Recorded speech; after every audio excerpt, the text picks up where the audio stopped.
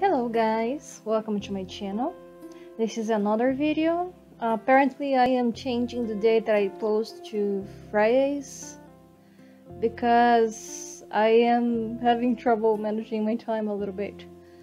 Uh, and also, as a reflection of that, I am so sorry, but this time the video is going to start from the second uh, layer because as you all know, I am streaming while painting and I am using that file from the streaming to also upload to YouTube.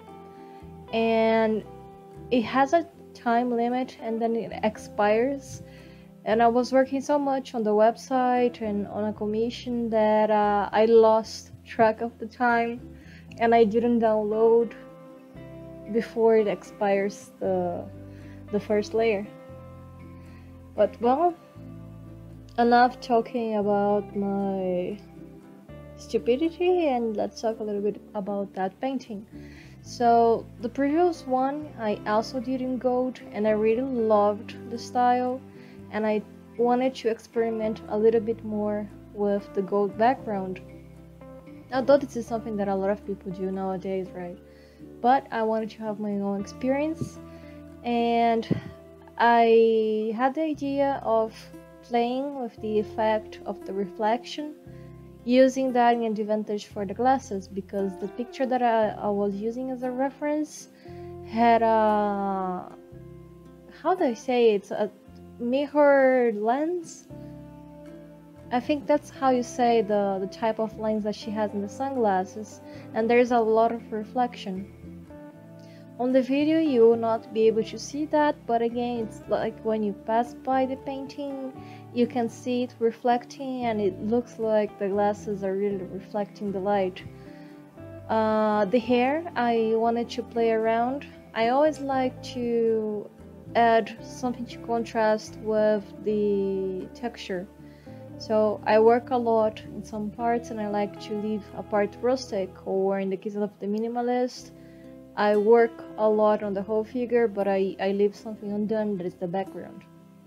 In this case, I thought it would be nice to leave the hair a little bit undone because since she was wearing uh, the sunglasses, I didn't have much of the face to work with.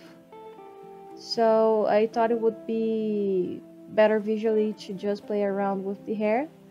And I made like a little bit cartoony because I just went with a single color. I didn't think too much about midtones. And I used the background as a highlight, thinking on the reflex that the light's having on her face would probably be reflecting on her hair. The end I do like. I'm not going to say that it is among my favorites I think uh, the lighting was not so well in certain parts of the face and I got too excited when I saw the sunglasses and the idea to play around with it that I didn't realize that uh, I could not see the tails on the mouth for example. The mouth was really really really difficult because it was something without definition on the reference.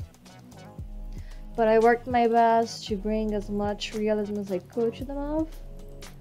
Uh, the gold I do with acrylic although I do know that there are several types of gesso in the market and some gesso are even gold or with pieces of something that shines. And then I went with the oil ink on the top. Because of those parts that I left the background to contrast like the glasses and the hair I had to use glazing technique as well. That is the a lot of liquid with a little bit of ink so you can have a lot of transparency. And I think that's pretty much what I could say about the painting itself.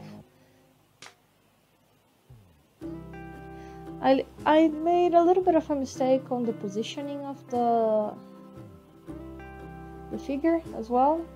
Actually, one thing, uh, if you do paint or you are thinking about painting or drawing, you should study the golden ratio or stuff about uh, painting composition or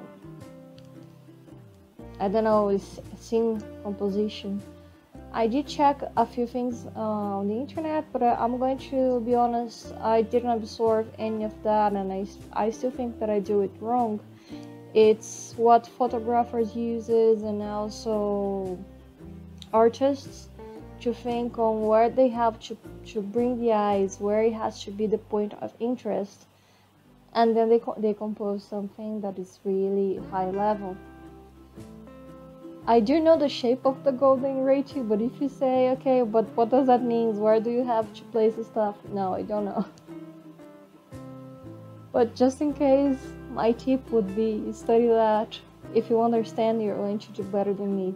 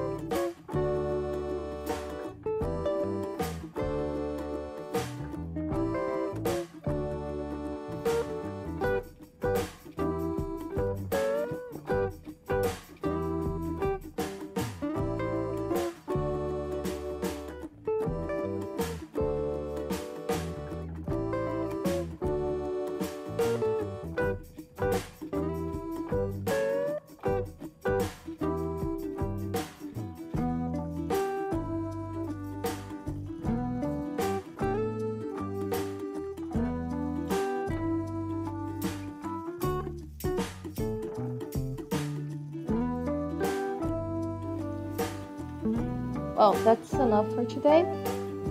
I hope you enjoy seeing the end of the painting. And if you do like, please subscribe, like, comment, and, and click on the ring button so you can receive notifications whenever I post new content. I hope you enjoyed. Bye bye.